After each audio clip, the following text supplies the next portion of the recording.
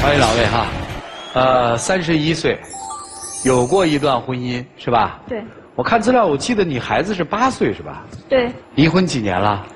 离婚三年多。小鱼是未婚是吧？对，我未婚。怎么就喜当时？朋友介绍的时候吧，我感觉她这人挺漂亮的，而且说比较贤惠吧。啊因为我这人就大大咧咧，然后我们俩在一起，最起码能有一个互补啊。啊，我感觉考虑到孩子的问题了吗？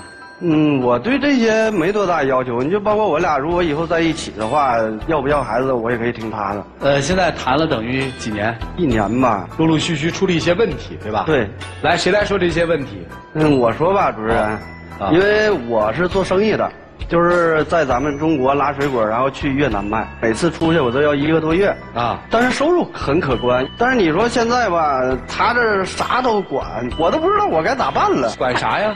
他去越南嘛，然后一走就一个多月。再说了，他之前的越南还有一个女朋友，就因为他妈不愿意，他就分了嘛。然后我就心里没底嘛。你说你一走一个多月，我也不知道你天天干嘛呀。你那边要是处着对象，那我算啥呀？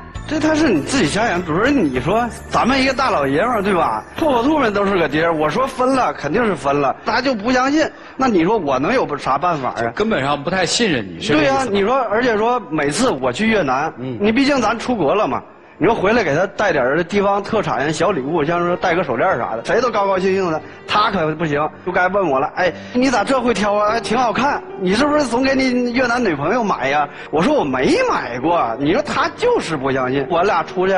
一起逛街，毕竟属于恋人嘛，一起逛街正常，拉个手啥都正常，对不对？他可好，这个事儿他还会问我，你是不是你跟你以前女朋友说你俩出来咋咋待着？你说是是拉着手，还是挎着胳膊，或者说你搂着她了？你说他这一天他无聊不？你这光想这些没用的。因为我们俩本来就分手了，我我没有联系过他，我也没有见过他，对吧？你说现在他每天他都在提，任何事儿他都可以提到他。你说你让我咋办？他不就担心你越南国内两头谈嘛？他刚开始跟我处对象的时候吧，说他不爱照相，不跟我照相。但是跟他相处时间长了呢，我看他手机里边那个快手有他跟他前女友那个视频，他前女友又白又漂亮，还比我年轻。那我当然会问呀。再说我们两个处对象，我问他一些这些东西咋了？我觉得不过分呀。他认为过分吗？对，那很简单，你能为他不再去越南跑了吗？作为一个男人，咱要养家糊口，有自己的事业，这是正常的。你说现在挣钱多难呢，对不对？啊咱们还有这条路吧？为啥不让我去？你再说了，你说我们俩在一起，他跟别人他也没有关系，对不对？就是说我们俩，你说我拥抱一下，这都很正常，对吧？你到这个时候，他还会问我说。跟我以前越南女朋友，哎，我们俩谁给你感觉好了？最可气的是啥？因为现在我就是这段时间他这样闹，我没法去，我一直在家里边待着，我待着都没有钱呀。所以说前几个月我想去越南，他说啥就不让我去。而且他说话特别毒，比如说啊，主任，因为我出过车祸，你看我这个脸现在全是疤，而且说出过两次，严重的时候我在 ICU 我住一个多星期。你说他说啥？